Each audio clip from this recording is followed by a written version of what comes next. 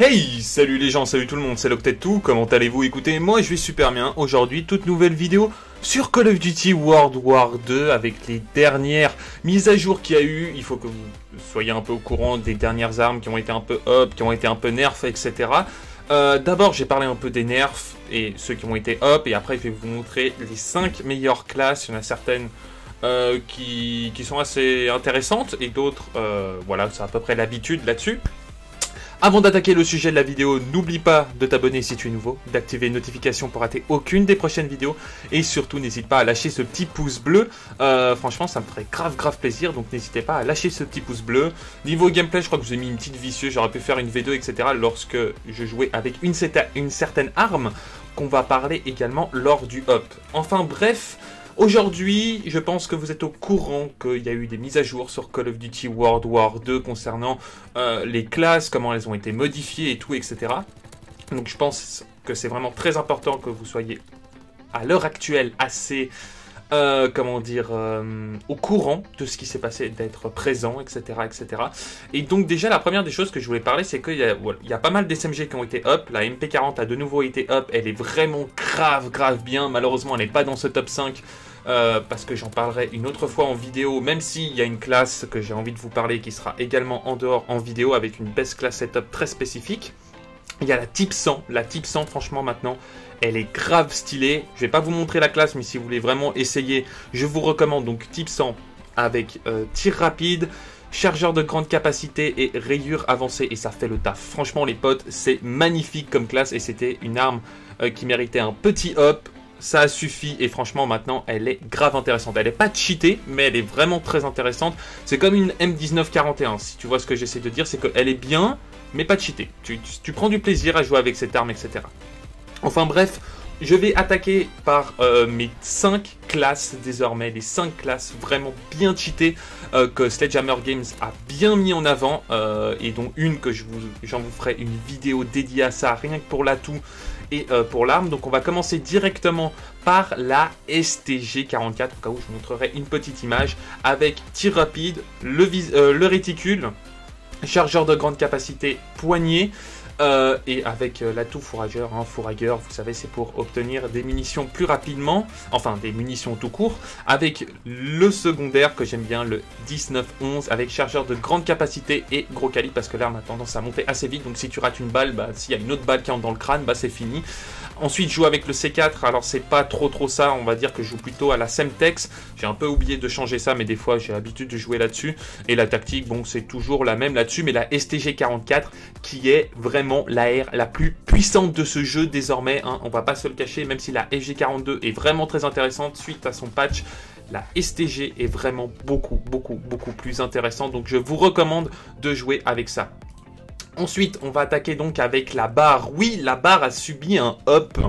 Euh, très intéressant d'ailleurs et vraiment très puissante. Donc d'ailleurs, je vous recommande toujours chargeur de grande capacité avec tir rapide, poignée, euh, le viseur avec fourrailleur, en l'occurrence Kepillard, 19-11, chargeur de grande capacité et gros calibre. Et ensuite, létal, charge explosif et euh, de nouveau la même chose, enfin bref les tactiques etc. Tu dois connaître à force avec également pillard. Ensuite, alors ça, je vais très vite attaquer ce sujet-là. Euh, en l'occurrence, c'est pour ça que je vous ai montré la classe comme ça. À la base, je joue avec infanterie dessus sur la PPSH, avec chargeur de grande capacité, poignet silencieux, et 1911 euh, avec euh, le, chargeur de grande capacité également, et après Semtex et tout ce qu'il faut. Et de nouveau pillard. Pourquoi lors de cette classe-là j'ai mis fantôme? Et ça je vais très vite vous expliquer. Euh, c'est que malheureusement, euh, il y a toujours un atout que les gens aiment bien jouer lors du DLC 2. Je pense que pas mal de personnes l'ont remarqué en live et qui m'a quand même fait énormément rager. Euh, c'est l'atout réquisition. Vous savez, c'est le fameux atout en fait qui continue ta série même quand tu es mort. J'arrivais dans des, dans des séries vraiment bien bien stylées, etc. Et euh, tout d'un coup, bah, j'entends Paratrooper ennemi en approche. Je What? Comment ça, Paratrooper? Wow, wow, wow, attends, attends, oh, attends, attends. On regarde le tableau des scores là. What? Attends, tu, fais du. Tu fais du 15-32 et tu me sors des paratroopers. Voilà, je pense que t'as compris. Euh, à un moment donné, tu tapes des strikes lorsque, lorsque le mec il est totalement négatif. Et euh, tu te fais enchaîner par ces strikes lorsque toi t'es responsable de rien du tout, t'es là, t'es es dans, dans une bonne série, tu fais une bonne, euh, quoi, tu fais un ratio de 6, 7, 8, tu fais une bonne game, et euh, sur le coup t'entends paratrooper, ou, mitrailleur d'hélico, etc. T'as fait une... What? The fuck, bro? What the fuck? Non, t'es là, tu fais non, non, non, c'est pas possible.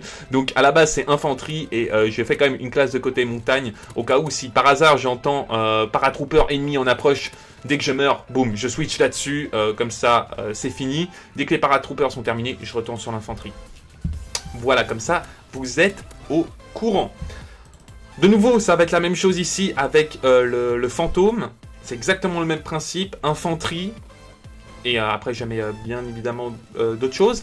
Mais je vais vous expliquer, et ça j'en ferai une énorme vidéo sur la Gris Gun. La Gris Gun, les potes, elle a été massivement up, et franchement c'est un pur plaisir de jouer avec ultra puissante. Franchement, c'est un truc de malade comme elle a été hop. Et avec un atout très spécial que je vais en parler et que j'ai rêvé de cet atout-là depuis le début du jeu. Au début du jeu, je disais toujours, ce jeu, il aurait dû jamais sortir avec Score Strike, il aurait dû sortir avec Kill Strike. Ça veut dire que on aurait laissé la domination 50 points, il n'y a pas de problème, mais ça veut dire que si tu fais 4 kills, tu obtiens ton drone à l'ancienne. C'est vraiment à l'ancienne, je crois que ça fait depuis... Ça fait depuis quoi? Je pense ça doit faire depuis...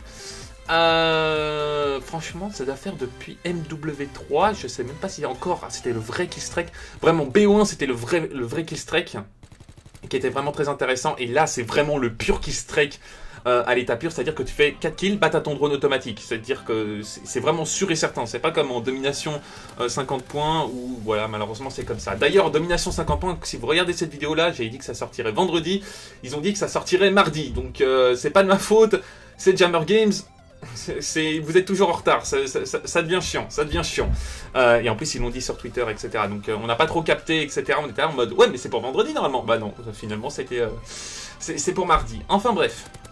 Et la dernière, la FG42, une arme que je surkiffe de nouveau avec le réticule, avec le tir rapide, euh, comment ça s'appelle, le chargeur de grande capacité et les rayures avancées, ou si on sait canon long, je sais plus comment ça s'appelle. Euh, pourquoi De nouveau, je mets pas de poignée cette fois-ci parce que la FG42 ne bouge pas, donc je vois pas trop l'intérêt de mettre une poignée là-dessus. Euh, franchement, elle bouge à peine. gros calibre inutile parce que ses dégâts sont vraiment au maximum. On va dire que la portée, on peut un peu l'augmenter, donc c'est plutôt assez cool là-dessus. Puis après, c'est toujours la même chose, etc. Mais on va dire que c'est vraiment les meilleures armes de Call of Duty. World War 2. C'est un peu dommage que ça n'a pas trop trop trop changé là-dessus. J'aurais vraiment voulu, mais vraiment j'aurais voulu euh, un, vrai hub de la type 100, qu'elle soit vraiment super intéressante. D'un côté, on a eu la Gris Gun qui est vraiment très intéressante et qu'est-ce que j'aurais kiffé euh, justement la Type 100 ou de nouveau la MP40, une vraie MP40, tu vois, parce que j'ai oublié de dire que suite à la dernière mise à jour, euh, la PPSH en fait, sans le vouloir, a subi un putain de up. Euh, elle est encore plus puissante qu'avant. Je pense que peut-être vous l'avez remarqué. Euh, elle est encore deux fois plus intéressante qu'avant. Donc euh, c'est quand même assez bizarre, tu vois, genre que la PPSH, elle ait toujours un peu plus d'avantages par rapport aux autres SMG, etc. Je trouve ça un peu dommage à mon goût. surtout que j'aurais kiffé, voilà, comme j'ai dit, la MP40, la Type 100. La Thompson, c'est vrai que la Thompson, elle est totalement délaissée. La Waffle également, c'est des armes intéressantes, mais sans plus, tu vois, genre, on peut pas avoir énormément d'intérêt pour ces armes-là parce qu'elles sont totalement mis à l'écart et je trouve ça vraiment dommage parce que euh, même si par exemple on a beau critiquer euh, Call of Duty Black Ops 3, certains n'aiment pas, bah on pouvait jouer avec toutes les SMG, genre la Vesper, il euh, y a tout. Tu peux jouer avec toutes les SMG sur Call of Duty euh, Black Ops 3, euh, ce qui n'est pas également aussi le cas sur Infinite Warfare. Infinite Warfare, on va dire que tu es plutôt limité par les SMG. pour moi, franchement, je le dis tout de suite, il y a l'Aerad et la vous Le reste, la Karma, elle est sympa, ok, elle est sympathique, mais le reste, ah, je pense qu'on a oublié, hein, la, FHR, la FHR KO, elle est sympathique, mais sans plus, hein, franchement, on va pas se le cacher, donc voilà. J'espère vraiment que donc euh, à l'avenir, de nouveau, il y aura de nouveau quelques petits patchs. J'aimerais bien voir la, PPSH un peu nerf et voir la MP40 être au même niveau que, la PPSH. Ça serait grave intéressant et ça rajouterait aussi beaucoup plus de contenu et un peu plus d'équilibrage. Parce que franchement, la MP40, qu'est-ce que je kiffe cette arme Enfin bref les gens, c'était Loctet tout. J'espère que cette vidéo vous aura plu. Moi je vous dis bye et à la prochaine en espérant que cette vidéo et ce petit gameplay sur Shipment vous aura plu. Puis moi je vous dis bye et à la prochaine.